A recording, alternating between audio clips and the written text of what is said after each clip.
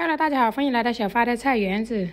转眼又到二零二三新的一年，在此多谢各位新老朋友们的厚爱与支持，同时恭祝各位身体健康，万事如意，种瓜得瓜，种豆得豆，满园子有吃不完的菜。冬天已经过去了，春天已悄然来临。现在我们温哥华的最低气温在两三度，最高气温在八九度。这时的菜园子最适宜播种什么菜呢？事不宜迟，我马上给您展示一下我今天播种了什么菜。第一就是大蒜苗。播种大蒜之前，先深翻土地，可以撩播，也可以旋播，然后施加有机肥同复合肥做底肥。然后按间距大概十厘米左右直插在土里。我们今天播种的大蒜只能够吃大蒜苗了。如果要想收获大蒜头的话，现在播种太迟了。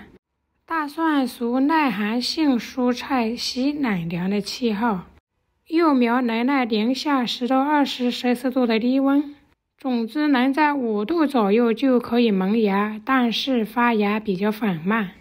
播种好了之后，再浇透水，大概需要三至四个星期左右才能出苗了。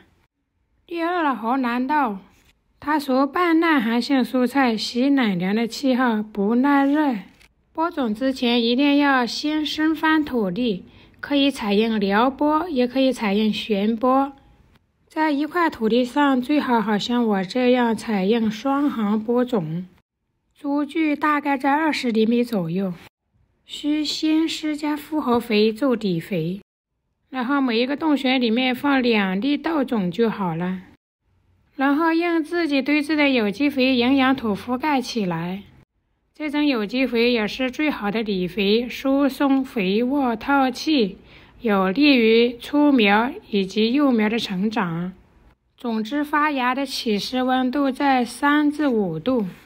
现在播种大概也需要三至四个星期才能够发芽出苗了。第三，茼蒿，它也是属于半耐寒性蔬菜，喜冷凉的气候，不耐热。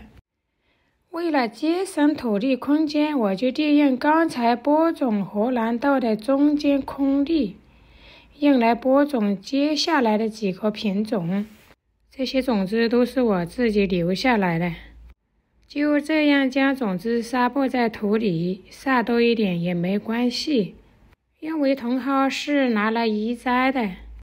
现在只不过暂时播种在这里育苗而已。第四，香麦菜，因为它有特殊的香味，很多人都喜欢吃。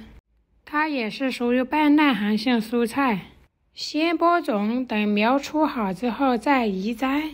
第五就是生菜，它的温度要求不高，相对来说喜欢冷凉的气候。要想获得高产自优的生菜，最好也是先播种育苗，然后再移栽。第六，莴笋，它也是比较喜欢冷凉的气候，也需要先播种，然后再移栽。第七，香芹，喜冷凉的气候，抗寒能力强。种子发芽的最低温度在四摄氏度，需先播种育苗，然后再移栽。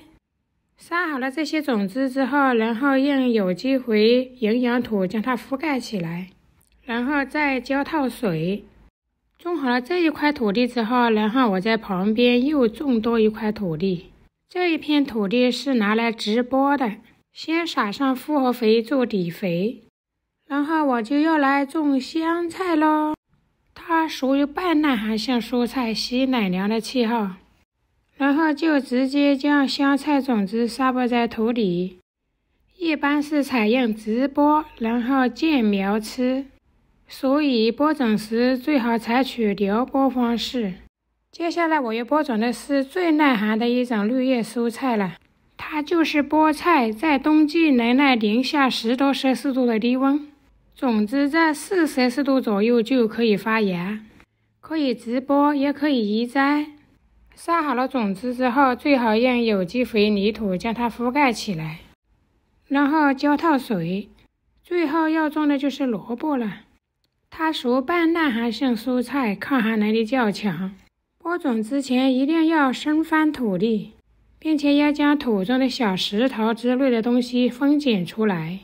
一般采取旋播的方式，间距大概在二十厘米左右。先在土里撒上含氮碘钾的复合肥做底肥，然后在每一个坑里面撒上两三粒种子。之后用自己堆置的有机肥营养土覆盖起来，这也是最好的底肥。之后浇透水。由于现在的温度还较低，为了使种子能尽快的发芽，我采取了一些保护措施，就是用薄膜将它覆盖起来。